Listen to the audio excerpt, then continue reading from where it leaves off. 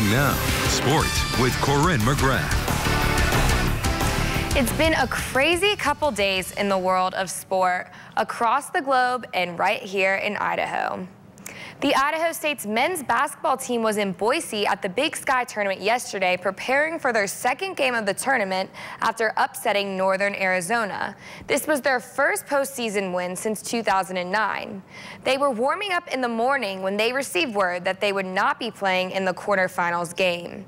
The rest of both the men's and women's tournament was canceled, and the Big Sky Conference made a statement that after consulting with medical experts, local authorities, and the leadership of their institutions, that this decision is prudent given the health and well-being of all involved. This is head coach Ryan Looney's first year with the Bengals. He spoke today about ending his season with a win, but not being able to continue the remainder of the postseason.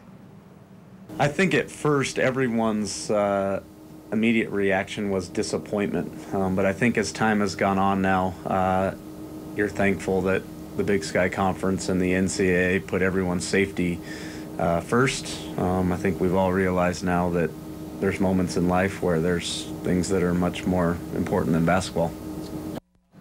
The Big Sky Conference announced this afternoon that they would be suspending all winter sports until further notice. The Big Sky's president or the Big Sky President's Council made this decision with the health and well-being of all its student athletes in mind. Idaho State's athletic director Pauline Thiros spoke to all the athletic teams today to answer any questions and concerns they may have. Just wanted them to know we're, we're going to support them. It's going to be business as usual in terms of training, lifting, practicing, studying, you know, matriculating, doing well academically. Uh, we'll be still accountable in all those ways, uh, and we want them to feel some degree of normalcy, even though we're not going to be competing. We spoke with Pauline before Idaho State decided to start their spring break early, which may affect the teams practicing and training. In national news, multiple NBA players have pledged to donate money to cover the salaries of hourly workers since the NBA has suspended the rest of their season due to the coronavirus. New Orleans Pelican star Zion Williamson, who is in his first year of the NBA after being 2019's number one draft pick, will pay Smoothie King Center workers salaries for a month.